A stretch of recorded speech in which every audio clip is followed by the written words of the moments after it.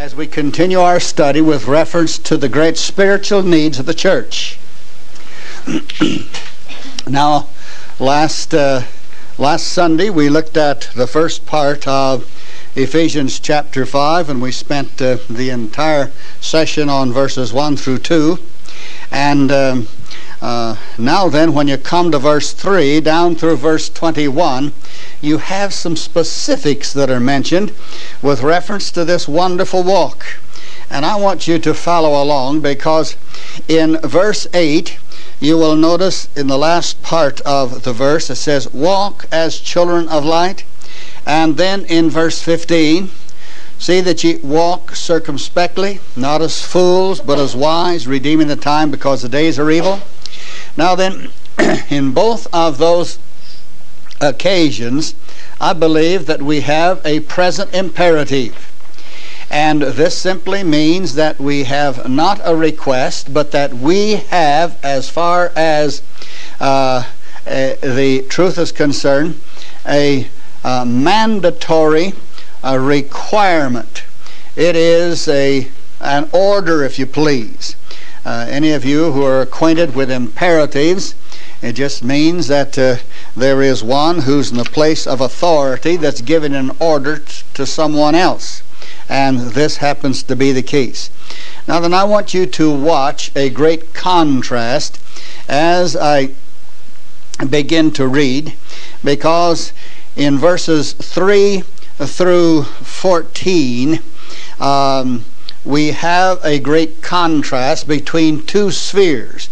One is the right and one is the wrong way to walk. And then from verse 15 on down through verse 21, you have also a great series of contrasts, the right and the wrong way to walk. And here's one of the great spiritual needs as far as the church, the body of Christ, is concerned, that uh, simply, I believe, gives us a commentary on what it means to walk this wonderful walk that is mentioned in verse 1 and 2. And perhaps I'll go back and just read verse 1 and 2 in connection with this entire section. Be therefore followers or imitators of God as dear children, and walk in love, as Christ also hath loved us, and hath given himself for us an offering and a sacrifice to God for a sweet smelling savour. But fornication and all uncleanness or covetousness, let it not be once named among you as becometh saints neither filthiness, nor foolish talking, or, nor jesting, which are not convenient, but rather giving of thanks. For this ye know that no whoremonger, nor unclean person, nor covetous man, who is an idolater, hath any inheritance in the kingdom of Christ and of God. Let no man deceive you with vain words, for because of these things cometh the wrath of God upon the children of disobedience. Be not ye therefore partakers with them, for ye were sometimes darkness, but now are ye light in the Lord walk as children of the light. For the fruit of the Spirit is in all goodness and righteousness and truth, proving what is acceptable unto the Lord, and have no fellowship with the unfruitful works of darkness, but rather reprove them. For it is a shame even to speak of those things which are done of them in secret. But all things that are reproved are made manifest uh, by the light. For whatsoever doth make manifest is light. Therefore he saith, Awake thou that sleepest, and arise from the dead, and Christ shall give thee light. See then that ye walk circumspectly, not as fools, but as wise, redeeming the time because the days are evil. Wherefore be ye not unwise, but understanding what the will of the Lord is. And be not drunk with wine, wherein is excess, but be filled with the Spirit, speaking to yourselves in psalms and hymns and spiritual songs, singing and making melody in your heart to the Lord, giving thanks always for all things unto God and the Father in the name of our Lord Jesus Christ, submitting yourselves one to another in the fear of God. Now, perhaps you observed in verses 3 through 14, there was a great emphasis as to the right and the wrong way for a believer to walk upon the face of this earth. Here's one here are some of the great practical spiritual needs of the believers. Then when you come to verse 15 through 21, there's another great contrast of the right and wrong way, but in another entirely sphere of emphasis. Now, I believe that I could give you a key with uh, just a little summary uh, statement as far as this uh, first section is concerned. Now, looking at uh, verse um, 13 and 14, as well as um, verse, four, uh, verse 8. Now, in verse 8, let me read verse 8 first. For ye were sometimes darkness, but now are ye light in the Lord walk as children of light. Now 13 and 14. But all things that are reproved are made manifest by the light. For whatsoever doth make manifest is light. Wherefore he said, Awake thou that sleepest, and arise from the dead, and Christ shall give thee light. Now, I believe that as far as this section is concerned, and he names some specifics. But Generally speaking, this section deals with a great contrast of light and darkness. Light and darkness. That's exactly what you have by way of uh, the emphasis of the commentary upon the wonderful walk as imitators or children of God. Now, he is going to set in contrast some very definite things which are mentioned for us here in Ephesians 5 regarding the walk of darkness and the walk of light. Now let's look at some of these specifics and emphasize the area of darkness and emphasize the area of light. And you got to remember that he is bringing these things to the fore for the emphasis of what a Christian should be doing and what a Christian should not be doing. Now you've got both the negative and you've got the positive. In fact, he starts out with the negative.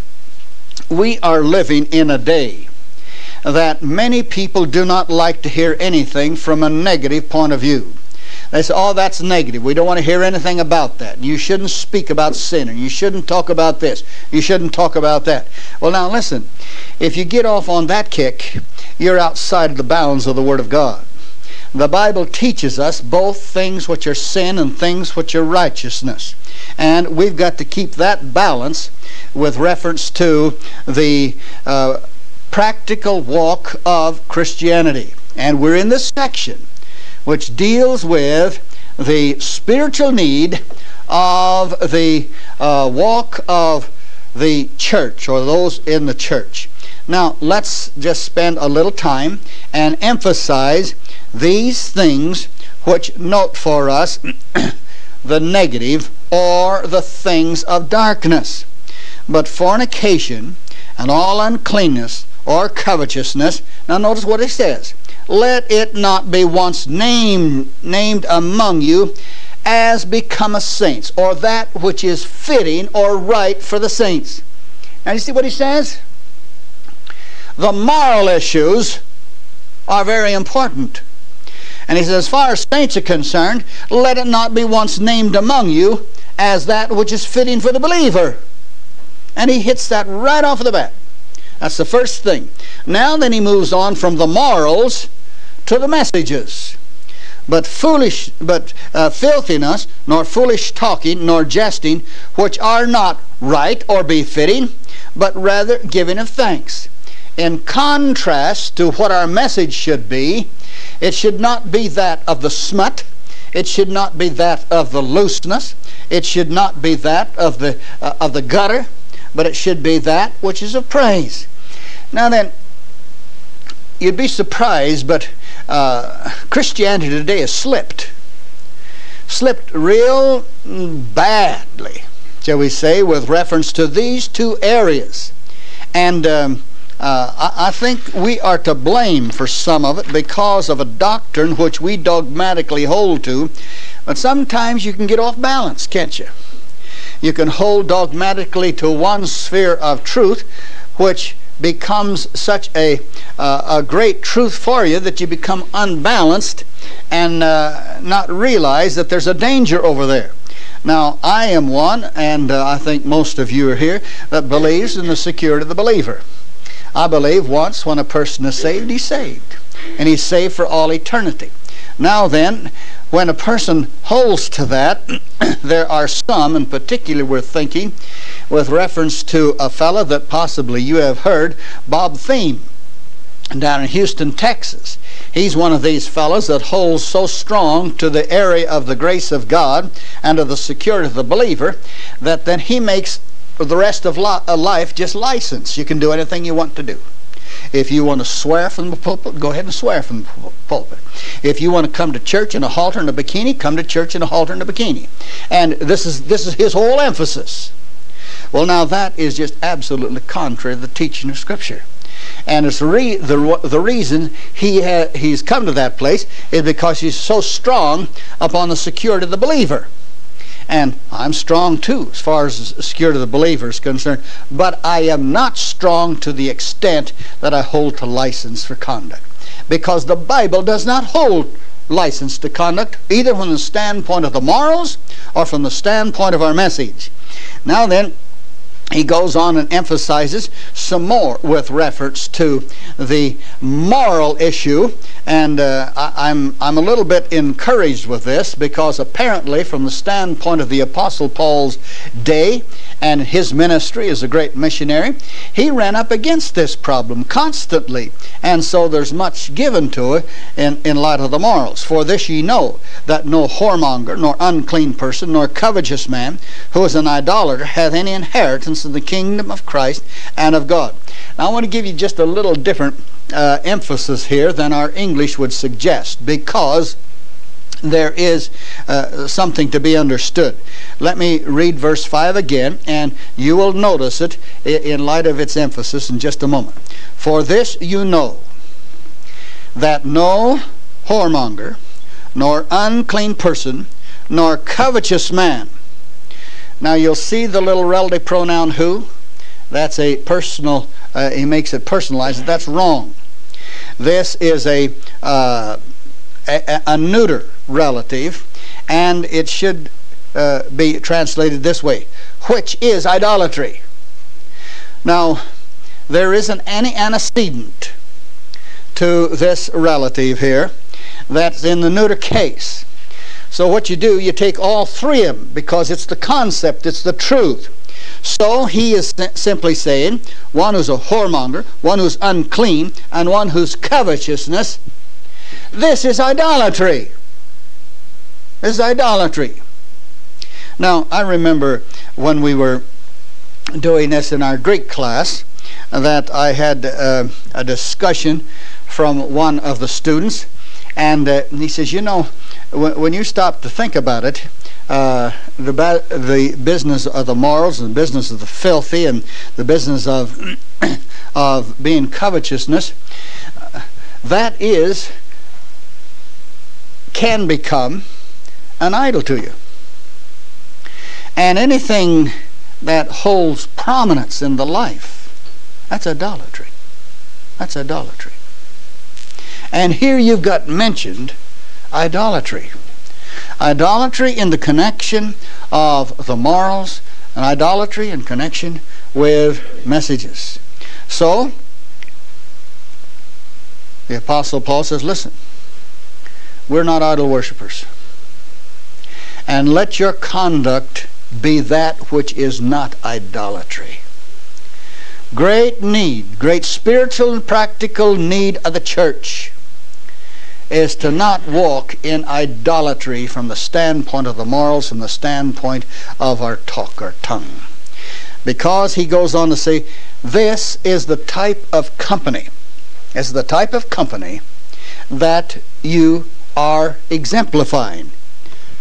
Because idolatry has no inheritance. No inheritance in the kingdom of God got to thinking about this.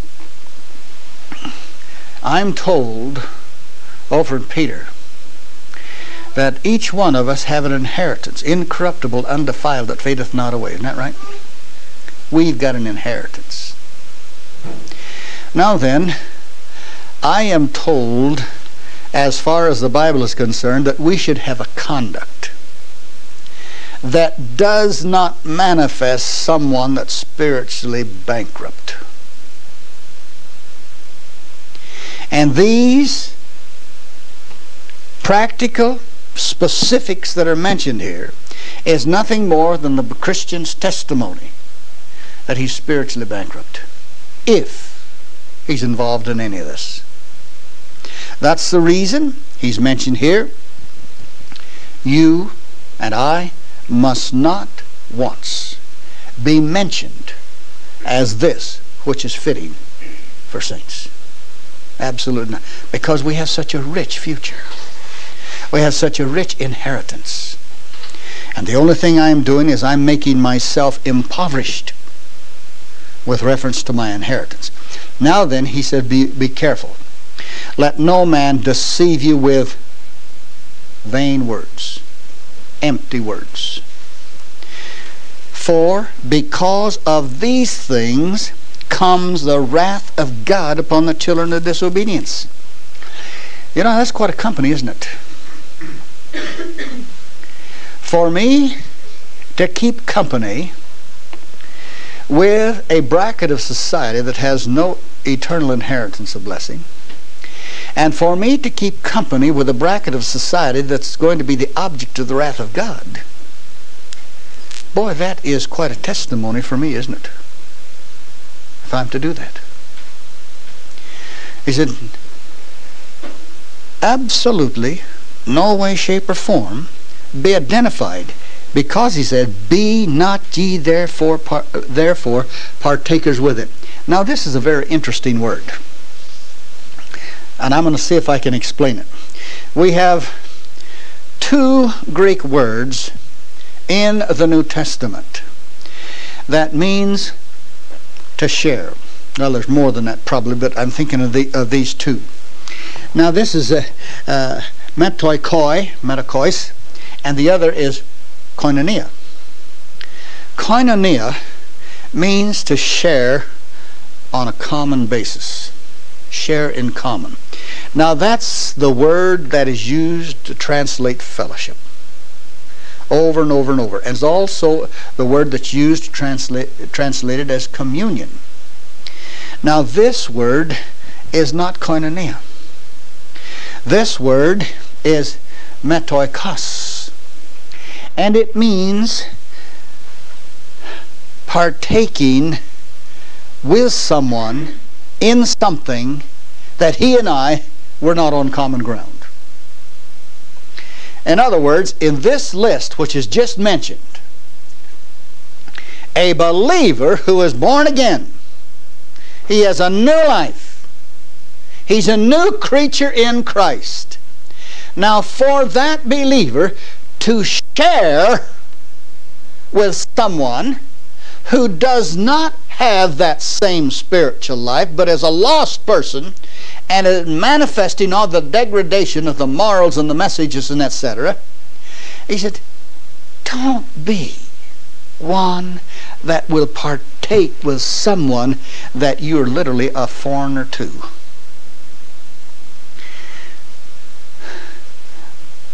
pretty emphatic, isn't it? Pretty emphatic. And uh, he, he reminds the Christian, he said, uh, you can reach out there and you can get that stuff. And you can take part in that stuff. But actually, you're not on common ground. And here is one of the strong, strong reasons for the prohibition of the mixed marriage. Because for a believer to be joined to an unbeliever, the only common ground is the marriage bond. But they don't have things in common from the standpoint of character. One's a believer, the other's an unbeliever, right? Okay? Now then, let it not be once named among you. that you're to be a partaker, partaker, with someone that you're a foreigner to by virtue of character and by virtue of emphasis. He spends um, a little time here, doesn't he? Apparently, during his day, and I know when you come to 1 Corinthians, that here was a real problem. Because the book of 1 Corinthians is a book that is sent to a group of believers that are involved and a great basketful of problems like the unsaved have. Terrible. But here in this encyclical letter, as to be that was sent into Asia Minor to all of these different churches, he said, "Look, you're involved in this business of the emperor worship that we've been under the uh, iron hand of Rome and involving all of these other things from the standpoint of the morals and the standpoint of the speech and uh, all this. He said, don't be partakers. Now then he gives us some he gives us a few reasons here and here he's just really emphasizing emphasizing for ye were notice that you were imperfect tense. One time in the past, this was your linear durative uh, action, continuous action. For you were sometimes darkness. But now, in contrast, ye are light in the Lord. Now walk as children of light. Now, what has just been mentioned, things of darkness things of the unsaved. Now he says, You're children of light. You walk in the light. Walk as children of the light. And it says, The fruit of the Spirit is in all goodness and righteousness and truth. That's not just the very best translation it should be. For the fruit of the light, the fruit of the light, that which bears fruit, the light the fruit light, let's call it that, is in goodness, is in righteousness, and is in truth. Now that's how you're going to bear fruit of light. And you can't be bearing fruit of light if you're out there taking, partaking with the fruits of darkness. My a great commentary on what it means to be imitators of God as dear children, right? Sure is. Now he said, do something. Prove what is acceptable unto whom? Unto the Lord. And now have no fellowship. Here it is, koinonia. Have no fellowship with the unfruitful works of darkness, but rather reprove them. On the one hand, I'm told to not even partake of it. Don't reach over there in that crowd and be a part of that crowd. Now then, he comes along and says, don't try to be on common ground with them. Common ground. Is what needs to be done. Such conduct is not fellowship, but rebuke, reproving. For it is what? For it's a shame even to speak of those things which are done of them in secret or done of them in darkness. But all things that are reproved are made manifest by the light. For whatsoever doth make manifest is light.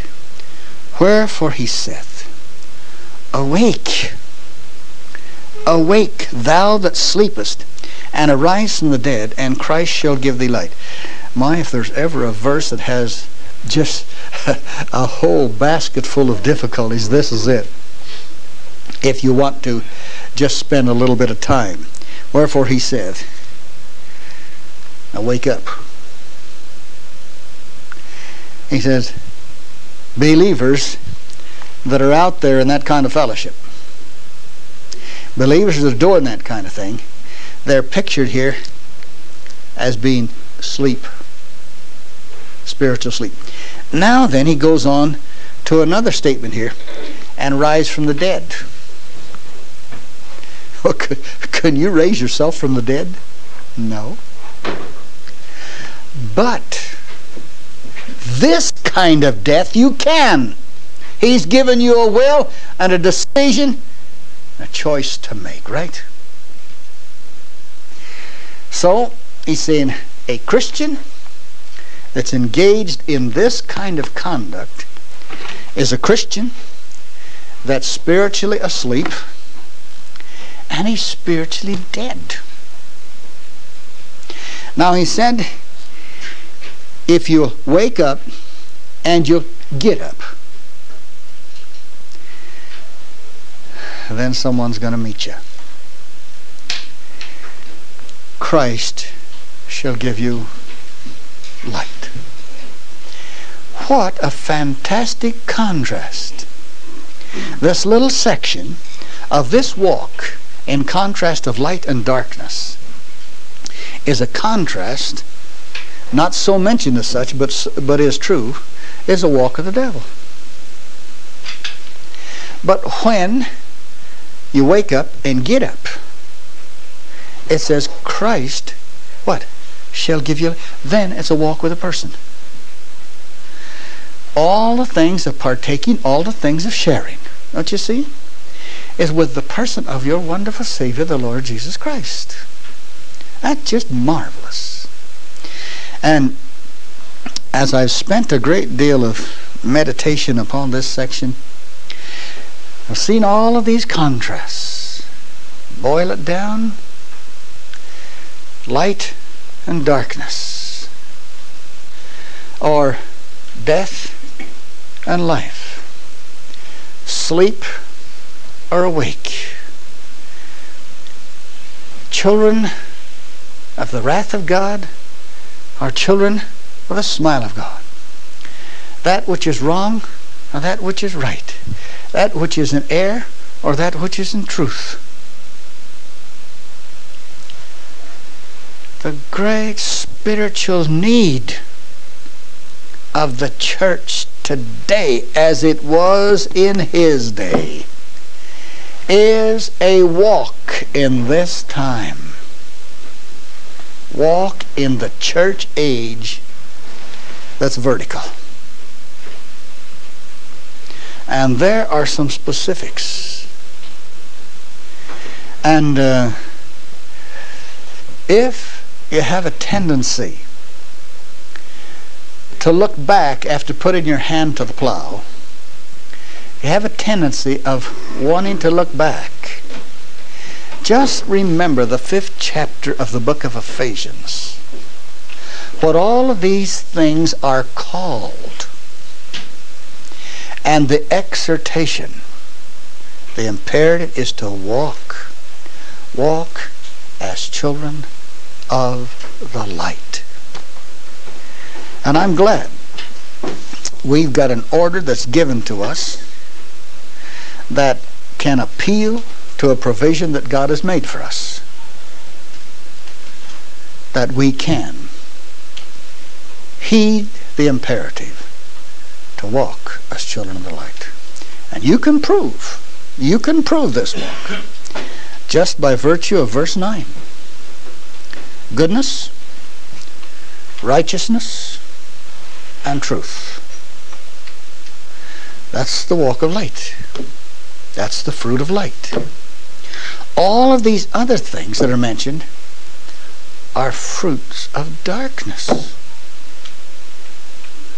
Now, it doesn't take one very long to be able to get a to be able to go over and get a dictionary and look up some of these words if you're having difficulty as to discovering what some of these things mean. But an adult certainly knows that when you talk about a moral problem, and when you talk about a filthy message problem, and when you talk about sharing and that kind of stuff, and then partaking of that stuff, they know you don't have to spend a great deal of time trying to convict them, convince them. I don't have to convince, I'll reprove in kindness. They already know. So, we're not going to be able to finish this section. We'll do it next time. Let's bow in prayer. Thank you, our Father, for the greatness of your wonderful word. Be pleased, dear Father, to minister its truth. And may we walk with you and love you and serve you as we should in light of the truth of your wonderful book. In Jesus' name we pray. Amen.